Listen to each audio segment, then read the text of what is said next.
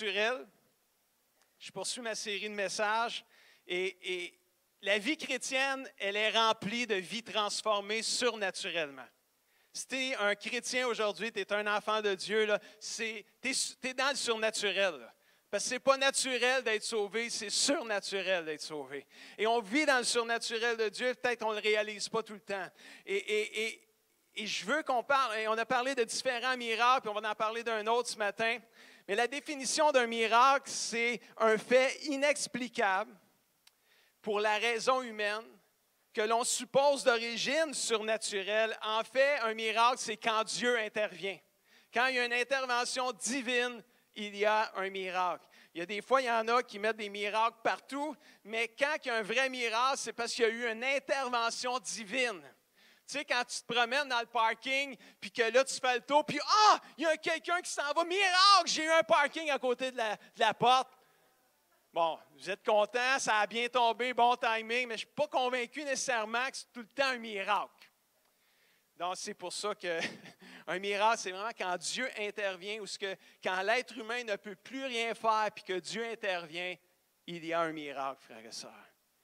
Quand le médecin il dit Je ne comprends pas, là, Qu'est-ce qui est arrivé? Mais c'est parce qu'il y a un miracle, parce que Dieu est intervenu. Surtout quand les médecins ne comprennent pas, on est proche du miracle. Amen. Dans le premier message, pour ceux qui, qui étaient là, j'ai parlé du miracle de la tempête apaisée. Puis j'ai encouragé l'Église, j'ai dit, vivre dans le surnaturel, c'est aussi traverser les tempêtes. Vous pouvez écouter ce message-là sur Internet, il est disponible.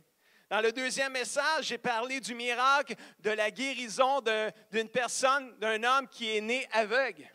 Et on a parlé d'ouvrir nos yeux et, que, nos yeux, qu'on puisse voir plus loin. Ouvre mes yeux, Père, pour que je puisse voir plus loin que les obstacles ou les maladies qui sont devant moi. Aujourd'hui, j'aimerais parler avec vous de vivre dans la victoire contre le diable. Euh, pasteur Stéphane, là qui a fait des bons messages quand j'étais en vacances, prêché sur le bon combat, il a prêché sur le bon soldat. Je n'ai pas écouté ses messages, je ne sais pas si ça va m'avoir des bouts de, ce qu'il a prêché dans ce que je vais dire aujourd'hui, j'ai aucune idée, mais je peux vous dire une chose, qu'il est surnaturel de vivre dans la victoire contre le diable et les démons. Mais c'est possible de le vivre. Et c'est ça qu'on va regarder ce matin.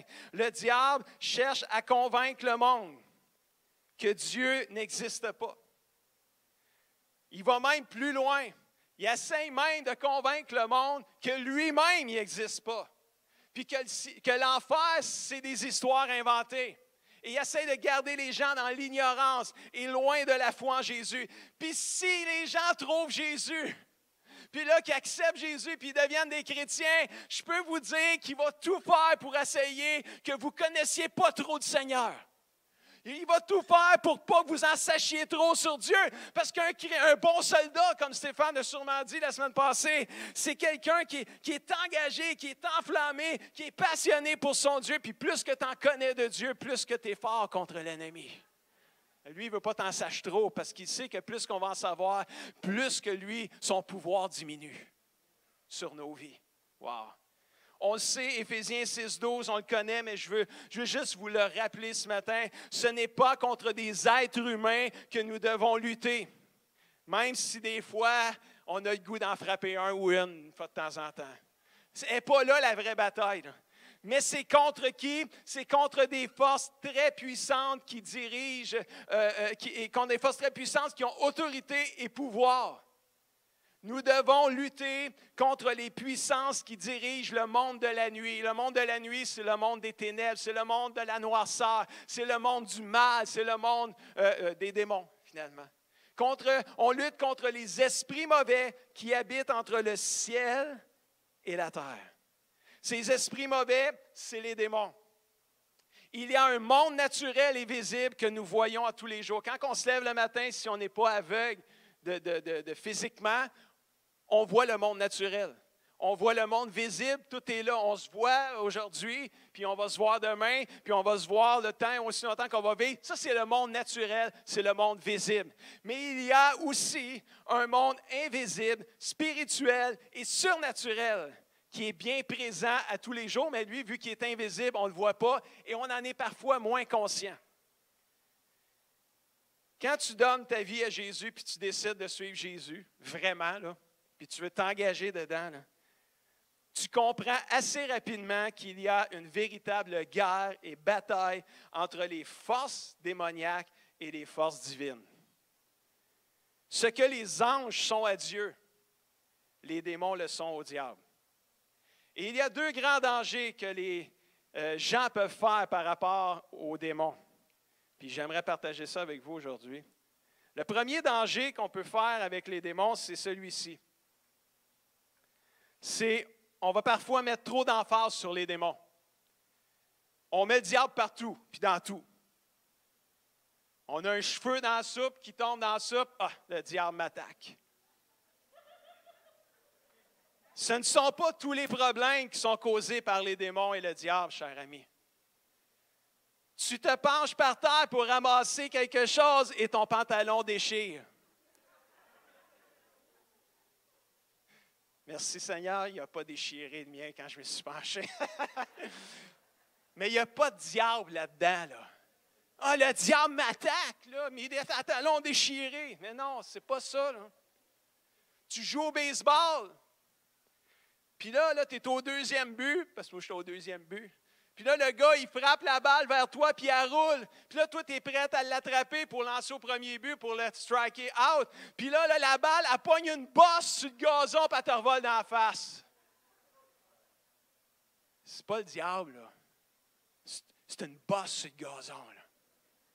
Puis la balle, si tu plates, mauvais timing, au mauvais moment, te revolé dans la face. Mais déjà arrivé, c'est pour ça que je la raconte. tu roules en voiture, puis tu as une crevaison. C'est pas le diable là, qui a mis un clou dans ton char, dans tes tailleurs. C'est peut-être que tu il était fini tes tailleurs, puis tu les as usés, puis tu as pris une chance, puis là, tu n'as pas pilé sur une petite roche qui était pointue. Mais des fois, on met le diable partout, puis on met trop d'emphase sur le diable, mais à un moment donné, il faut, faut faire attention. C'est un danger, ça. Mais tu as l'autre danger aussi, ou l'autre extrême, ou ce que si tu mets trop d'emphase sur les démons, il y a l'autre extrême où ce que tu mets pas assez d'emphase sur eux. Puis là, c'est comme, c'est comme c'est vrai que ce ne sont pas tous les problèmes qui viennent du diable, mais c'est quand même aussi vrai qu'il y a peut-être plus de problèmes qu'on pense qui sont causés par les forces du mal. Il y en a qui voient le diable partout, puis il y en a qui le voient nulle part, ou ils ne veulent pas le voir. C'est peut-être pas le diable quand tu te penches puis que ton pantalon craque puis qu'il déchire, mais ta réaction, par exemple, oh, pourrait y avoir une influence d'un mauvais esprit. Quelqu'un te. Euh, euh, euh, tu, tu, tu, la balle la face au baseball, on va tout regarder mes mêmes exemples. C'est peut-être pas le diable qui t'a envoyé dans la face là-bas, mais tes réactions après ça, tu peux peut-être avoir une influence qui vient dans tes pensées. Mais ces influences-là des fois, ça peut devenir, ça peut venir du malin. Et c'est pour ça, il faut faire attention, il y a deux dangers qui sont là. Mais nos démons, qu'est-ce qu'ils font les démons? Hey, Pasteur Guy, tu es en vacances vraiment, là? Les démons, tu passes raide en partant. On passe raide, mais en qu'on passe raide? Il fait chaud, hein, mais quand on parle de démons, le monde écoute. C'est bon signe. Qu'est-ce qu'ils font les démons? Vous savez, il y a quelqu'un qui a déjà dit, quand tu vas à la bataille, quand tu vas au combat, quand tu vas lutter, quand tu vas te battre contre une autre équipe, tu essaies d'apprendre à connaître l'autre équipe, connaître ses stratégies pour mieux les contrer. Mais il faut apprendre à connaître aussi notre adversaire et nos adversaires, les démons. Et dans 2 Timothée chapitre 2, versets 24 à 26, la Bible dit, un serviteur du Seigneur ne doit pas se quereller on a-tu des serviteurs et servantes de Jésus ce matin ici dans cette salle? Je veux juste vous annoncer que la Bible nous dit on ne doit pas se chicaner. Et on, doit, on doit même être aimable envers tous. Ça, c'est cool, ça. Hein? Envers qui? Tous. Ça, tous, là, ça inclut tous, puis ça exclut personne. ça, ça veut dire on doit être aimable envers ceux qui sont aimables, puis envers ceux qui ne sont pas aimables. Pas juste moins aimables, pas aimables. On en a de ça. On en a tout de ça. Il doit être aimable envers tous, capable d'enseigner, puis de supporter les critiques. Il y a toujours quelqu'un qui va critiquer à quelque part. Anyway, la Bible dit qu'un serviteur du Seigneur doit être capable de supporter la critique. Oh, c'est bon ça. Il doit instruire avec douceur. Ça, c'est vraiment bon, ça. Parce que instruire, c'est une chose, mais avec douceur, c'est une autre coche. Instruire avec, avec douceur, c'est contradictoire. Tu n'as pas toujours le goût d'être doux avec ceux qui te contredisent tout le temps. Mais la Bible a dit, faut pas que tu te chicanes, faut que tu sois aimable envers tes contradicteurs. Tu supportes la critique pour respect par le nez, serviteur du Seigneur. Instruis avec douceur tes contradicteurs. Pourquoi? Parce que Dieu leur donnera peut-être l'occasion de changer de façon de penser envers toi, de connaître la vérité. Ils retrouveront alors leur bon sens, et c'est surtout la dernière phrase écrite en jaune ici, et se dégageront des pièges du diable qui les a attrapés et les soumettre à sa volonté. Oh, yeah. Qu'est-ce qu'ils font les démons? Avec le diable? Les démons et le diable, ils veulent nous piéger. Ils veulent nous piéger pour nous faire pécher. Les démons cherchent à nous éloigner de la volonté de Dieu. Ils veulent nous séduire pour nous faire pécher, nous faire désobéir, nous faire faire des choses mal, des choses qui ne sont pas bien pour nous, des choses qui vont nous faire du mal à nous. Et, ils cherchent à nous piéger. Comment ils font ça? Ils communiquent toutes sortes de mensonges dans notre tête, puis dans notre, dans notre tête, dans notre petite tête, on va dire ça comme ça. Puis là, ils viennent, puis ils nous sèment des pensées. Essaye-le. Ah, oh, essaye-les, comment, là.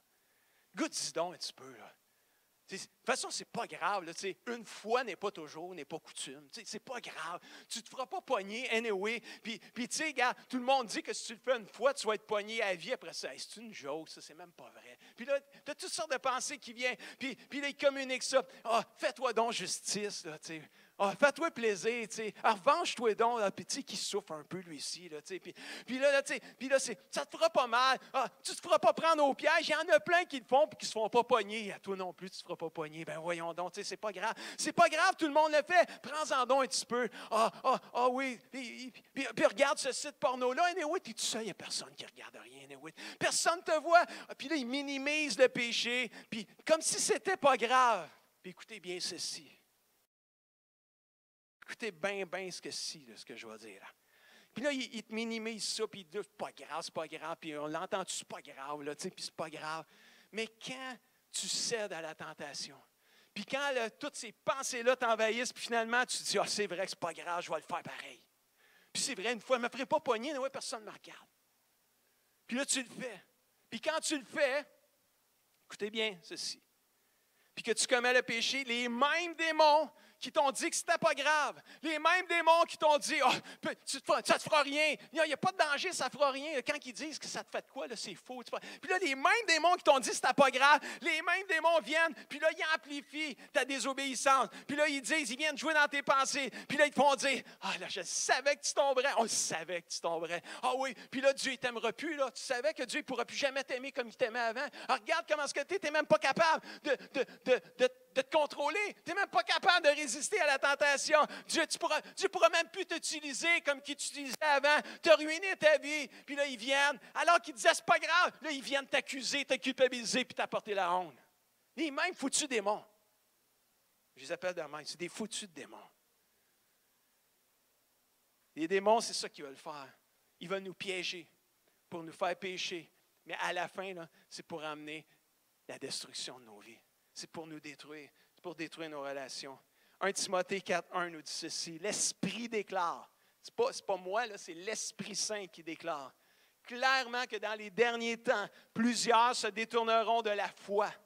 Dans les derniers temps, et plusieurs ont dit que les derniers temps, c'est maintenant. On est dans les derniers temps de la vie, de, l'histoire. On, on, est vers la fin. Plusieurs se détourneront de la foi parce qu'ils s'attacheront à des esprits trompeurs et à des enseignements inspirés par des démons. Aïe aïe. Les démons, non seulement ils veulent nous piéger, mais ils veulent nous éloigner de la foi.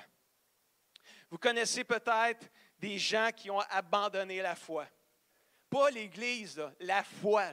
Moi, je connais des gens qui ont grandi dans le Seigneur, des gens qui ont donné leur vie à Jésus, des gens qui ont servi Dieu, des gens qui avaient la foi. Et il, sont, est arrivé toutes sortes de choses dans leur vie. Et je, connais des gens qui ne croient plus maintenant et ils le déclarent. C'est pas juste on ne va plus à l'église. non, on ne croit plus. Et ça fait mal d'entendre ça parce que c'est des gens qui sont des amis, des gens qui sont proches de nous et on en connaît. Et peut-être que tu es cette personne, peut-être pas dans l'Église aujourd'hui, mais peut-être tu écoutes ce message-là et tu es cette personne qui a abandonné la foi au fil des années. Les démons veulent faire croire que tous les chemins mènent à Dieu un peu de bouddhisme, un peu de New Age, un peu d'astrologie. Ah, c'est pas grave, tu vas y arriver. Non, alors, parce que Jésus a déclaré dans Jean 14, 6, Je suis le seul chemin qui mène à Dieu. Alléluia. Quand quelqu'un dit tous les chemins sont bons, non, ils ne sont pas tous bons. Il y en a un seul de bon, c'est Jésus-Christ. Alléluia. Wow. Les démons font croire que la Bible n'est pas vraie, qu'elle a été écrite par des hommes. C'est sûr qu'elle a été écrite par des hommes. C'est vrai, ça. Mais il oublie les démons de vous dire que la Bible a été écrite par des hommes inspirés par le Saint-Esprit. Alléluia. Ça, c'est puissant, ça. Là, ils oublient de le dire, ça. Ils disent juste ce qui fait leur affaire. Puis là, ils font croire ça. Oui, mais pasteur, euh, il y, a des, il y a des Bibles, tu sais, notre Bible, elle a 66 livres, mais la Bible des catholiques en a, je ne sais pas, 80 il y a une gang de... Il y a des livres dans l'Ancien Testament qu'on appelle des livres apocryphes. Je ne sais pas c'est quoi ça veut dire ces mots-là, mais ils ont baptisé de même. C'est des livres qui, ont été ajoutés plus tard, ça, dans l'Ancien Testament par l'Église catholique. Et là, comment tu peux faire pour savoir c'est quoi qui est bon? C'est tout écrit par des hommes. Frères et sœurs, comment savoir que les 66 livres de la Bible, c'est vraiment les 66 bons? Faites juste regarder le Nouveau Testament. Je ne ferai pas dans un débat théologique un matin, mais je veux juste une petite pensée. Lisez l'Ancien Testament, là on fait beaucoup référence à l'Ancien Testament dans le Nouveau Testament. Il y a beaucoup de références. On, a beaucoup de versets qui sont tirés de l'Ancien Testament. Il été écrit dans Isaïe, le prophète Jérémie, le prophète, c'est tout. Puis dans les psaumes, puis tu sais, regardez toutes les références du Nouveau Testament. Il n'y a aucune référence du Nouveau Testament qui a rapport avec tous les livres qui ont été rajoutés par l'Église catholique. C'est assez suffisant pour dire qu'ils n'ont pas d'affaires là, ces livres. Mais là, le diable, il vient, c'est démons. Puis là, il sème des pensées. La Bible écrite par des hommes, il ne faut pas croire à ça. Ils nous font croire qu'on n'a pas besoin de l'Église, qu'on peut vivre par nous-mêmes. Ils nous font croire que toutes les religions sont bonnes. Il n'y a pas une baïenne de bonne. Parce qu'il n'y a pas une religion qui sauve, frères et sœurs. Nous, là, oui, c'est vrai. Ben, écoute-toi, pasteur, qu'est-ce que tu fais dans une religion? Je, suis poigné, on va dire, à cause du gouvernement. À cause du gouvernement qu'on est comme affilié à une religion ou à une, dénomination. Il faut écrire à quelque part à quel groupe religieux qu'on est affilié. Mais moi, c'est la religion pentecôtiste, là, ça me passe du pied par-dessus la tête. Moi, ce que je veux, c'est Jésus-Christ, Jésus seulement. Alléluia. C'est juste que pour notre gouvernement, il, faut s'associer à un groupement religieux. Puis je trouve que les pentecôtistes, c'est ceux qui se rapprochent le plus de ce qui est écrit dans la Bible. Mais je ne mets pas ma foi dans la religion pentecôtiste. Ma foi est en Jésus et en Jésus seul. Hallelujah. Puis c'est vrai qu'il fait chaud aujourd'hui, là, c'est vrai. puis là, le diable, il vient avec ses démons, puis ils nous font accroire toutes sortes de choses pour nous éloigner de la foi. Il va utiliser les injustices qu'on va vivre dans ce monde, la souffrance qu'on va vivre, la maladie qu'on va vivre dans ce monde pour nous détourner de la foi. Soyons vigilants. J'ai fait les funérailles hier de Jean-Jacques Marin. Jean-Jacques, je l'ai connu parce que j'ai grandi avec ces garçons Bobby et Gaétan, pour ceux qui se rappellent de, cette famille-là. Bobby, c'était un de mes meilleurs, un des bons amis. On a fait l'école du dimanche ensemble. Bobby est décédé en 2009 d'une tragédie, puis je ne veux pas rentrer dans les détails, je ne vais pas le dire aujourd'hui. Mais Jean-Jacques, ça fait des années qu'il est malade, Jean-Jacques. Jean-Jacques, ça fait une douzaine d'années qu'il est placé dans une résidence. Il n'a même pas pu assister aux funérailles de son fils Bobby, que j'ai fait les funérailles, parce qu'il était trop malade. Ça fait longtemps, là. Ça fait neuf ans que Bobby est décédé. Et, combien de fois Jean-Jacques a prié Dieu, viens me chercher, Seigneur. Viens me chercher. Pourquoi tu ne viens pas me chercher, Seigneur? Je souffre, ça fait mal. Viens me chercher. Puis il ne comprenait pas pourquoi le Seigneur n'a pas le chercher. Mais puis, cette semaine, j'ai parlé avec Micheline puis Gaétan parce qu'il voulait que je s'élève, que je préside le service hier. On a passé du temps avec Gaétan, le frère de Bobby, puis Micheline, sa mère, l'épouse de Jean-Jacques. Je leur ai posé une question. J'ai dit, ça fait longtemps qu'il est malade, Jean-Jacques. Ça fait longtemps que je ne l'ai pas vu. J'ai dit, peux-tu vous poser une question, puis répondez-moi en toute authenticité. Est-ce que la maladie, depuis tant d'années, est venue étouffer la foi de Jean-Jacques? Je sais que physiquement, il n'y avait plus l'énergie. Je sais qu'il n'y avait plus le même zèle parce que la, maladie était venue étouffer son zèle et, son énergie physique ne pouvait plus. Il était placé, même pas capable de venir au, service de, ton propre fils. Puis ils m'ont répondu, Guy, on va être honnête avec toi. Il y a une chose que mon père, ce Gaétan disait, il n'a pas perdu, c'est la foi. Il a perdu tout le reste, mais la foi, il ne l'a pas perdu. Puis alors qu'il était euh, couché quasiment sur son lit de souffrance, c'est lui qui nous disait, perdez pas la foi là, quand je vais partir. Perdez-la pas, gardez-la. C'est précieux. Les démons, ils veulent nous, détourner de la foi. Il va utiliser la maladie, il va utiliser la souffrance. Pourquoi la souffrance dans le monde? Écoutez, je pourrais prêcher là-dessus, puis je l'ai déjà fait, puis, puis, je pourrais dire toutes sortes de belles choses, mais mes réponses seraient incomplètes, frères et sœurs. N'y a pas une réponse complète qu'on peut répondre à pourquoi la souffrance dans le monde, pourquoi Dieu permet la souffrance. Il n'y a pas vraiment de réponse complète qu'on peut donner. Je dois seulement mettre ma foi en Dieu. Je ne comprends pas, je ne comprendrai peut-être jamais sur terre, mais je sais qu'un jour mes yeux verront Jésus, puis je vais rester fidèle à la foi. Je ne laisserai pas rien me séparer de l'amour de Dieu et de la foi en Jésus-Christ. Alléluia. Même si je ne comprends pas tout. Les démons veulent nous piéger. Ils veulent nous emmener dans le mal, ils veulent nous emmener à pécher, à avoir bien du fun pour mieux nous détruire. Ils veulent aussi, troisièmement, faire d'autres choses. Dans Matthieu chapitre 17, et c'est le, miracle que je voulais toucher brièvement ce matin. C'est le papa qui vient vers Jésus puis qui dit Seigneur, aie pitié de mon fils. Mon fils a un esprit mauvais qui le secoue, qui le fait souffrir beaucoup. Souvent, il, le fait tomber dans le feu, il le fait tomber dans l'eau. Écoute, c'est sûr que ça n'avait pas bien son affaire. Il y avait vraiment un esprit mauvais dans lequel il était possédé, il était pris avec un mauvais esprit qui le faisait faire toutes sortes de choses mauvaises, qui le détruisait. Et là, Jésus dit, amenez-moi l'enfant ici. Et Jésus menace l'esprit mauvais. Dites-le avec moi. Jésus menace l'esprit mauvais. Et l'esprit mauvais sort de l'enfant au même moment. L'enfant est guéri. Oh, c'est bon ça. Les démons, ils veulent nous faire souffrir. La mission de Satan, c'est de détruire, tuer et voler. C'est écrit dans la Bible, ça. Jean 10, 10. Mais la mission de Dieu, c'est de nous donner la vie et la vie en abondance. Le diable envoie ses démons qui viennent nous faire souffrir. Mais avant de nous faire souffrir, ils nous font croire que c'est party avec le diable. C'est cool, le diable. Non, c'est pas cool, pantoute. Mais ça a l'air cool. Mais tu vas voir, tu découles vite quand tu commences à être cool avec la mission de Satan, c'est détruire. Il envoie ses démons nous entraîner dans la dépression, le désespoir, la souffrance, jusqu'à même avoir des pensées suicidaires. Ils veulent détruire les mariages, les démons. Ils veulent briser nos relations. Ça prend des fois pas grand-chose pour briser une relation, frères et sœurs.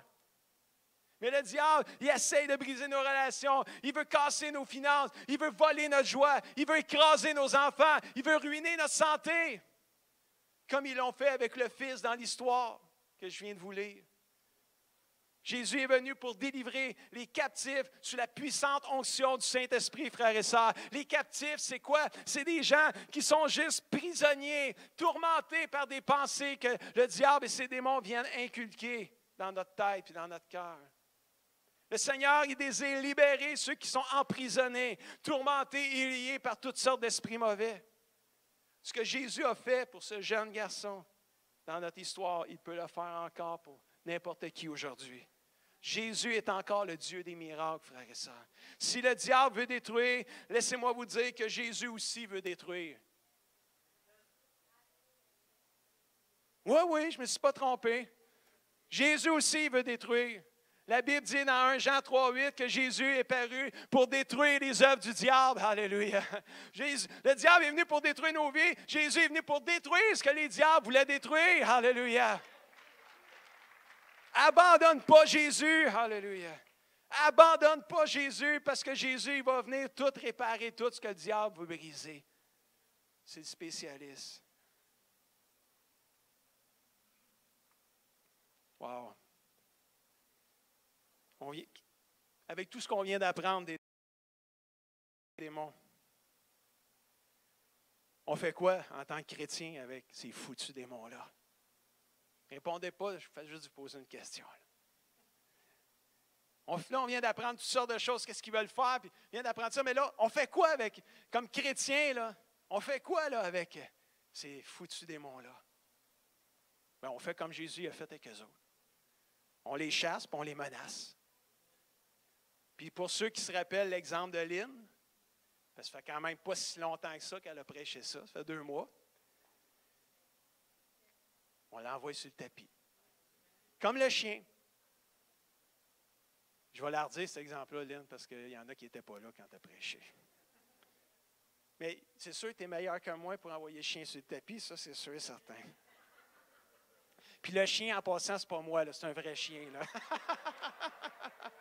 non, mais des fois, on fait des images pour faire comprendre des choses, là, mais on va régler cette image-là tout de suite.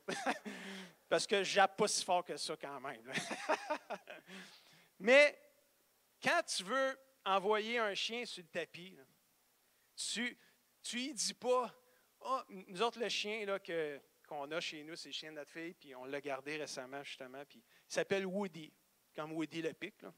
Puis là, nous autres, quand on, veut qu'il aille sur le tapis, on ne dit pas Oh, Woody, ça te tente-tu d'aller sur le tapis? Va sur le tapis réfléchir un peu, là. Parce que Woody, là, quand tu parles de même, il ne va pas sur le tapis. Woody, quand tu parles de même, c'est comme il est content, c'est comme tu lui donnes une traite. Mais quand tu veux qu'il aille sur le tapis, c'est quoi tu dis? Woody, tapis. Écoute, il spinne, mon ami. C'est vrai qu'il spinne, hein? Il spinne, mon ami. Il a tellement hâte d'aller sur le tapis, là, tu sais. Puis c'est quand. Mais je ne sais pas s'il a vraiment hâte, mais en tout cas, il va sur le tapis parce que Woody, tapis! Des fois, tu n'as même pas besoin de dire tapis. Woody! il spinne, puis il arrive sur le tapis, puis là, il se cache la tête, puis tu sais, là, c'est comme il fait la tortue, là, tout, se, se rentre en lui-même quasiment. Mais c'est juste la manière que tu parles au chien qui fait qu'il obéit. Je crois que c'est l'autorité qui fait la différence. On fait comme Jésus. La parole de Dieu nous demande de chasser les démons au nom de Jésus puis de les menacer au nom de Jésus. Puis ça, c'est tous ceux qui sont chrétiens ici. Là. La Bible dit dans Matthieu 10, verset 1, Jésus appela les douze disciples et qu'est-ce qu'il a fait? Il leur donna l'autorité de chasser les esprits mauvais, les démons, et de guérir toute maladie toute infirmité. Quelqu'un dit Amen à ça. Dans Marc 16, 17, voici les miracles qui accompagneront ceux qui auront cru. En mon nom, dit Jésus, ils chasseront, menaceront les démons et ils sortiront. Alléluia. Tous ceux qui sont nés de nouveau dans cette salle ici aujourd'hui, tous ceux qui sont nés de nouveau, qui écoutaient ce message, tous ceux qui sont enfants de Dieu remplis du Saint-Esprit. La Bible dit, euh, le résumé de la Bible dit, nous avons une autorité surnaturelle sur les démons dans le nom de Jésus. Quelqu'un dit Amen à ça. Nous avons une autorité surnaturelle sur les démons au nom de Jésus. Nous autres aussi, on peut dire, esprit mauvais, tapis, alléluia, au nom de Jésus. Puis je te garantis qu'il va y aller. Mais là, esprit mauvais, ça tente-tu de sortir? Non, ça ne tente pas de sortir. Pas-y dans le nom de Jésus, il va sortir. Parce qu'il n'a pas le choix d'obéir. Euh, Es-tu là, Martin, Geneviève? Sont-ils là? Ils sont pas là. Bon, on a un policier dans l'Église, pour ceux qui ne savent pas. C'est sûr qu'il n'a pas son habit avec lui, fait qu'on ne sait pas qu'il est policier, mais on en a un. Mais là, il est en vacances aujourd'hui. Que, il s'appelle Martin. pourrait dire, j'ai pris son exemple. Un policier n'a aucune puissance par lui-même pour faire arrêter une, automobile. Un policier, de même, de lui-même, il n'y a aucune puissance pour faire arrêter une automobile. Ce qui lui permet d'arrêter une automobile, c'est ça. C'est quand que son uniforme, c'est écrit police, puis que son char a des lumières bleues puis rouges qui flashent. Je peux te garantir que là, il y a toute l'autorité et la puissance pour arrêter n'importe quelle automobile. Pourquoi? Parce qu'en tant que policier, son uniforme, puis son beau char avec ses lumières de Noël qui flashent, lui donne cette autorité-là. Mais par lui-même, Martin, quand il vient à l'église, il ne peut pas arrêter personne.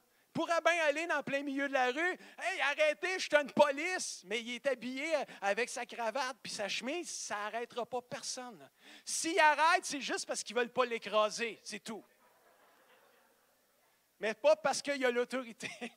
Suivez-vous? Mais si le même Martin arrive avec son, son habit de police, puis il s'en va dans la rue, puis il fait, il fait dire au monde d'arrêter, c'est sûr, les gens vont arrêter. Pourquoi? Parce que c'est une police, puis il y a l'autorité. C'est l'autorité qui donne la puissance à la police de nous arrêter quand on fait des infractions. Wow! Nous, par nous-mêmes, on ne peut rien faire contre le diable et ses démons. On est comme une police sans linge, sans l'habit de police. C'est comme, par nous-mêmes, on ne peut rien faire contre les démons. Parce que la Bible a dit qu'on lutte contre des, puissances très fortes dans les lieux célestes. C'est puissant quand même, des démons. C'est juste que notre Dieu, il est tout puissant. ça le dépasse. Mais les démons, il ne faut pas les prendre à la légère. Fait que par nous-mêmes, on ne peut rien faire. Mais parce qu'on a reçu Jésus dans notre vie il y a plusieurs années, il y a, quand c'est arrivé, quand vous êtes né de nouveau, vous avez reçu Jésus dans votre vie et il vit en vous par le Saint-Esprit. Nous avons depuis ce jour-là l'autorité et par le fait la puissance de chasser tous les démons qui veulent nous influencer vers le mal ou tous les démons qui veulent influencer quelqu'un dans nos familles vers le mal. Et ça, mes amis, c'est vivre dans le surnaturel. Wow. L'apôtre Paul, à un moment donné, il se faisait suivre. Il s'en allait, la Bible dit qu'il s'en allait prier. Et là, il y avait une esclave, parce que c'était très populaire l'esclavage dans, le temps de la Bible.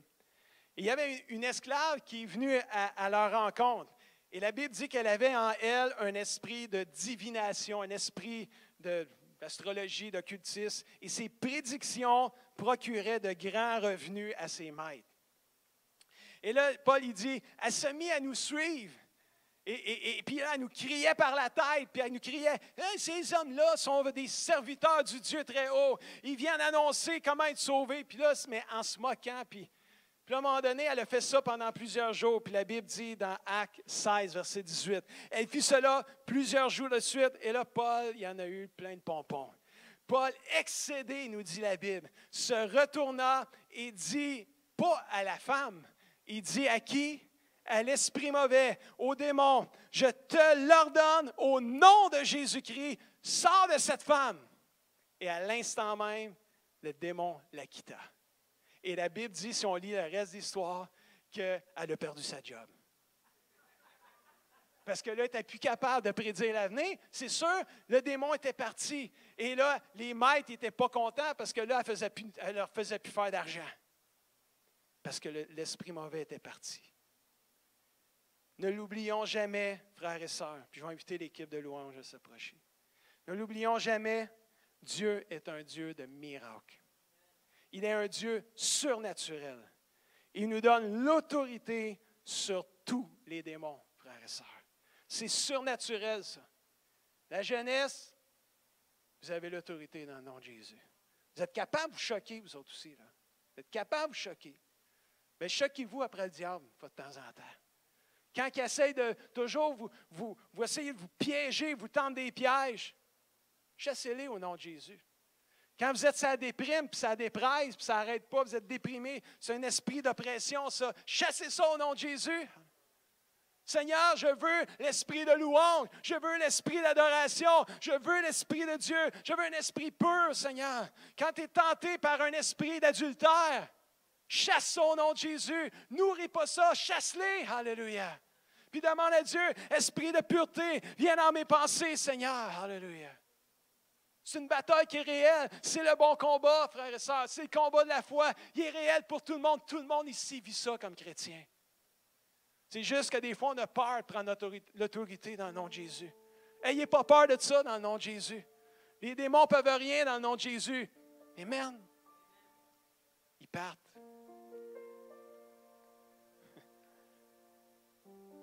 C'est drôle que quand on a des tentations, c'est drôle quand on est tourmenté, puis qu'on on décide de venir prier. Il se passe quelque chose.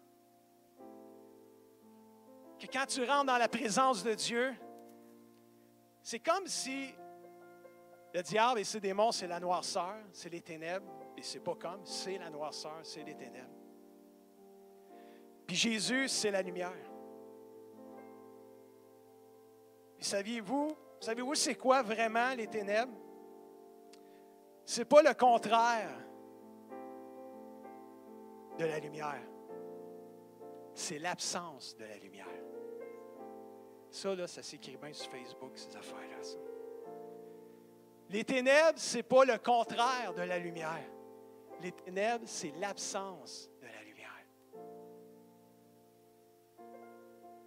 Moi, moi pasteur, euh, Jésus vient à moi, mais tu sais, moi, je ne suis pas une 100 watts quand même. J'éclaire pas fort. Mais ici, c'est impossible à faire parce qu'il y a trop de lumière. On ne peut pas rendre noir cette salle-là, à part si on est la nuit.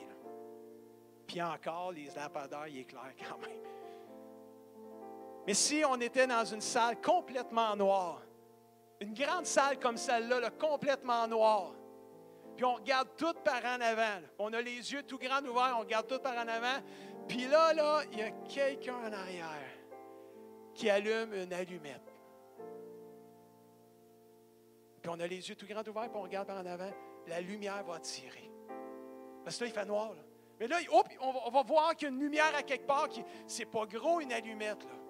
Ça éclaire pas si fort que ça, mais dans la noirceur, ça l'éclaire. La lumière qui brille en nous, elle va toujours chasser les ténèbres. Parce que la lumière chasse les ténèbres. Parce que les ténèbres, c'est l'absence de lumière.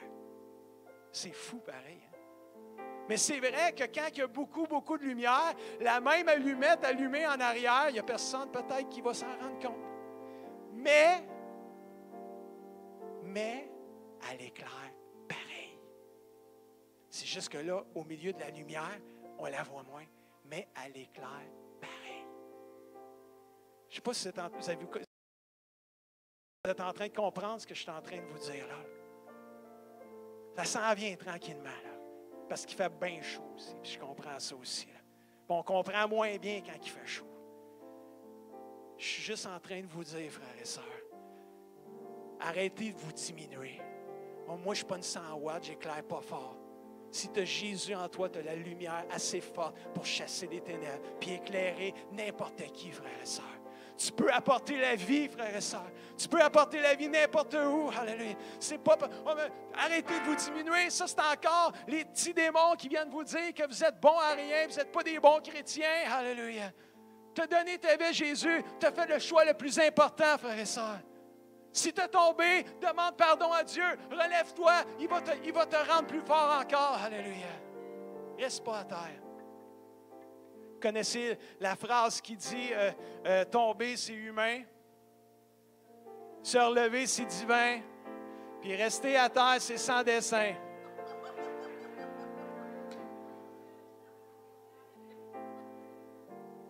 Cette semaine, quand j'ai parlé avec Gaétan et Micheline pour Jean-Jacques, il me disait, Gaétan, que son père détestait l'hypocrisie. Il valorisait beaucoup l'honnêteté et l'authenticité. Tout le monde n'aime pas l'hypocrisie. J'ai regardé Gaétan, j'ai dit, Gaétan, il y a une chose que j'ai, que j'ai, j'ai décidé dans mon cœur. Quand je suis devenu pasteur. Ça fait 20 ans cette année que je suis pasteur principal d'une église. J'ai dit, j'ai dit à Dieu un moment donné, j'ai dit Dieu, j'accepte. J'accepte que l'Église, elle ne sera jamais parfaite, ici-bas sur cette terre. Je l'accepte. J'accepte, Seigneur, qu'elle ne sera jamais parfaite parce que tu as toujours quelqu'un qui vient te voir et qui dit Oh, toi, tu as des chrétiens dans ton église. Oh, tu devrais les regarder plus souvent. Tu as des chrétiens, là, que Oh, ça brille pas fort. Puis là, tu te fais dire ça, puis ça fait mal. Parce que moi, j'aime tout le monde. Pour moi, là, vous êtes mes frères et sœurs. Je suis comme le papa, là. Même si j'ai l'air de votre enfant, pour les plus vieux. Je suis comme un papa pour vous. Je vous aime. Puis quand quelqu'un me dit ça de, ma famille spirituelle que j'ai à prendre soin, c'est sûr, ça me fait quoi, là? Mais en même temps, il n'y a personne de parfait sur terre. Tout le monde le sait. Qui, qui est parfait ici? Levez la main. Personne ne va lever la main. On le sait. Qui est imparfait? On l'est tout. On court tout vers la perfection. On veut tout être parfait, mais on ne l'est pas. J'ai accepté que l'Église était pour être imparfaite. J'ai dit, Seigneur, je l'accepte. Vous savez quoi? Ça m'a enlevé, je ne sais pas de combien de lourdeur sur mes épaules. Parce que moi-même, je suis imparfait. Je la rends déjà imparfaite en partant. Je te suis bien de régler ça tout de suite. J'ai dit, Seigneur, puis, je dis à Gaétan, les chrétiens, des fois, ils sont, on les qualifie d'hypocrites, mais ils sont peut-être pas nécessairement hypocrites. C'est juste qu'ils ont tombé peut-être. Puis nous, on donne le qualificatif d'hypocrite. Mais sont-ils vraiment hypocrites? Ils font-tu vraiment exprès? Ou ils ont juste eu des petits démons qui sont venus leur dire toutes sortes de choses, puis ils ont juste été séduits, puis ont tombé? Mais nous, on les qualifie d'hypocrites. Alors que Jésus nous demande de les aimer, nous, on est en train de les juger comme des hypocrites. C'est qui l'hypocrite finalement? C'est peut-être les deux. Parce que Jésus, il ne veut pas qu'on juge. Puis là, on est en train de juger sur quelque chose qu'on ne sait peut-être même pas ce qui s'est passé. On évite là-dessus, nous autres, les chrétiens. Frères et sœurs, il y a une vraie bataille spirituelle. Je crois que Dieu veut qu'on vive une vie dans la victoire sur nos démons. Sur les démons, sur le diable. Dieu, il veut qu'on vive une vie victorieuse une vie de victoire, marcher de victoire en victoire. On ne se bat pas pour la victoire, on est déjà victorieux en Jésus-Christ. On se bat parce qu'on est victorieux. On va la chercher, cette victoire-là, en Jésus-Christ. Est-ce qu'on peut se lever ensemble?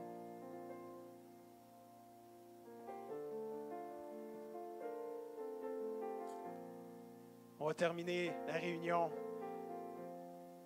juste en priant. Donnez-moi une minute ou deux ou trois, ou quatre, max cinq. Prions, fermons nos yeux.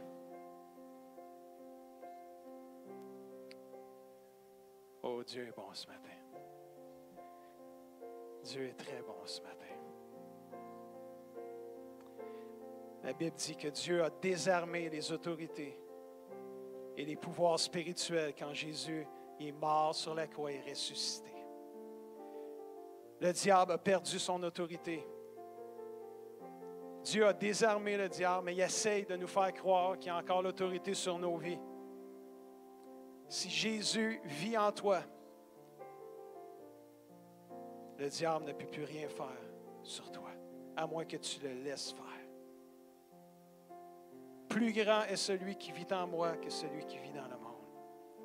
Peu importe ton besoin ce matin en terminant. Que tu sois malade, que tu aies des mauvaises habitudes, que tu aies des peurs constamment. Peur de ne pas aller au ciel, peur de ne pas être à la hauteur, que tu as des inquiétudes, la jalousie, l'amertume, l'égoïsme. Ce matin, je t'encourage à garder l'image du chien qu'on envoie sur le tapis. À le mettre en pratique dans ta vie pour parler aux démons comme Jésus le fait. Il menaça le mauvais esprit et dit, et l'esprit mauvais sortit de l'enfant. Parle à ces esprits mauvais-là quand tu es tourmenté dans tes pensées. Parle à tes mauvais esprits-là. Je ne sais pas leur nom. C'est un mauvais esprit. Appelle les mauvais esprits. Puis au nom de Jésus, sors de mes pensées. Quitte mes pensées au nom de Jésus. Esprit Saint, viens apporter des pensées de paix. Parle et ordonne avec l'autorité que tu as, avec le nom de Jésus. Et vis dans la victoire. Comme un bon soldat, comme un bon chrétien. Amen.